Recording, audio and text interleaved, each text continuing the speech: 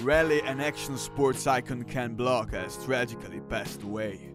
Block was riding a snowmobile up a steep slope in his ranch in Woodland, Utah, when the vehicle upended, landing on top of him. There was nothing that the paramedics could do when they arrived on the scene. He started his rally career in 2005.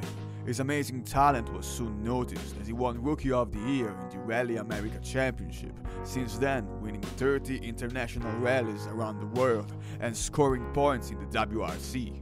He was a pioneer of the X Games, garnering 5 medals and famously finishing the race in 2012 in LA on 3 wheels.